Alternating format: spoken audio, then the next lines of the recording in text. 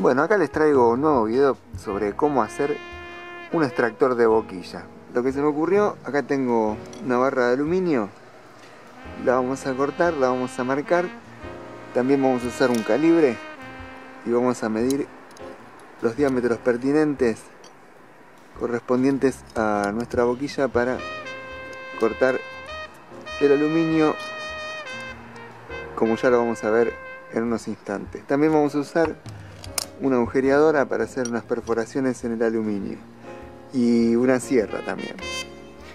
Bueno, acá ya corté la primera pieza de la barra. Lo que hice fue perforar con una mecha para hacer el semicírculo y después con una sierra corté el pedacito que faltaba. Y acá tendríamos la parte que apoya en el túnel de nuestra trompeta y la boquilla pasaría así. Solo faltaría la parte de arriba, que sería de esta misma longitud, con dos agujeros donde pasan dos tornillos. Ahora vamos a ver cómo se hace. Bueno, esta sería la parte superior. Fíjense, con una lima le hice esa forma de embudo para que apoye la copa de nuestra boquilla. Y también ya realicé dos agujeros, que los hice un poco más chicos porque los tornillos son de 6 milímetros y hay que mantener cierto paralelismo y no quisiera que, que queden doblados. Entonces este como es de 6 ahora vamos a ir probando a poquito a ver si va derecho con respecto hacia 90 grados tiene que ir. Ahí por este orificio. Porque si queda un poco torcido hay que tratar de que quede lo más derecho posible. Si tienen una agujereadora de banco mejor. En esta pieza la boquilla apoya ahí y esta formita que le hice ahí de embudo es para que justamente no raye la boquilla y que apoye bien parejo. La boquilla iría así, por acá pasan los dos tornillos y esta sería la parte inferior donde apoyaría nuestro túnel y los tornillos harían fuerza en la placa de abajo.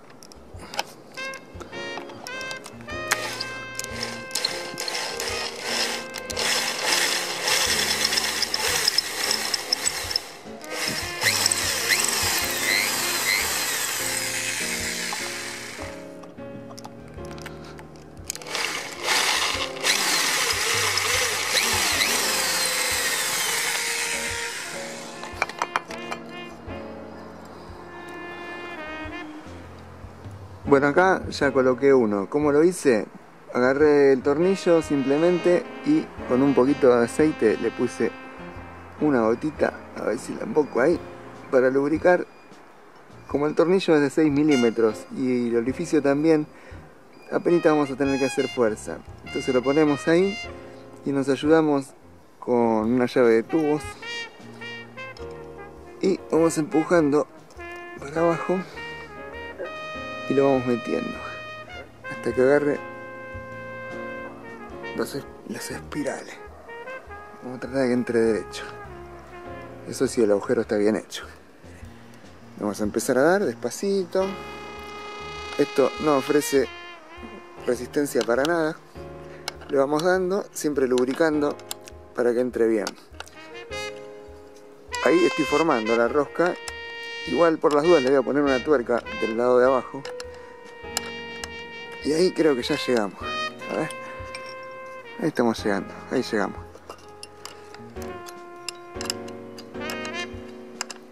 Y ahí le vamos dando y ya tenemos una rosca formada.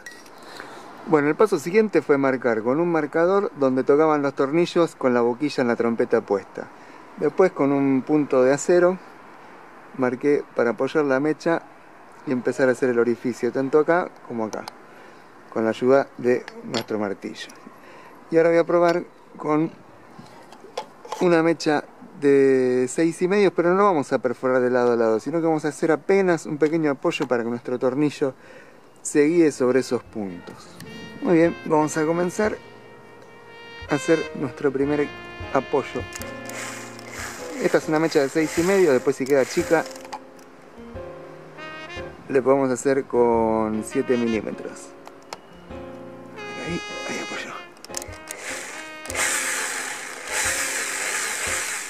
Como pueden ver, acá le hicimos dos orificios para que entren los tornillos de nuestro extractor. Esto va así, sobre nuestra boquilla. Y lo que ajustamos son estos tornillos para que esto haga este movimiento y separe la boquilla del túnel. Vamos a ver cómo funciona. Bueno, ahora lo que vamos a hacer con este martillo de nylon para no abollar la boquilla, lo que vamos a hacer es clavarla, la boquilla. ¿Y cómo se coloca esto? Tomamos nuestra parte que tiene la concavidad para poner ahí en la copa de nuestra boquilla. Y nuestros tornillos los calzamos en los orificios que habíamos hecho anteriormente. Lo que vamos a proceder a hacer es calzar esta parte en el túnel y dar unos pequeños ajustes con la mano para que nuestros tornillos entren en los agujeros y ya ahí quedaría fija. Recordemos que la boquilla la clavamos con nuestro martillo y con esta llave de tubo vamos a empezar a darle un par de giros y van a ver que inmediatamente empieza a aflojar y la boquilla sale por sí sola sin romper nada y sin forzar nuestra trompeta.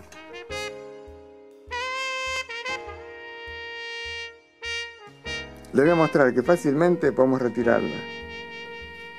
Vemos que trabaja y ya yo ya sentí que la boquilla aflojó y ahí la tenemos. Boquilla sacada. Espero que les haya servido y si tienen alguna duda con respecto a esta herramienta, eh, yo solamente la copié de, de una herramienta ya existente. Así que espero que les sirva y cualquier pregunta me la pueden hacer a mi canal.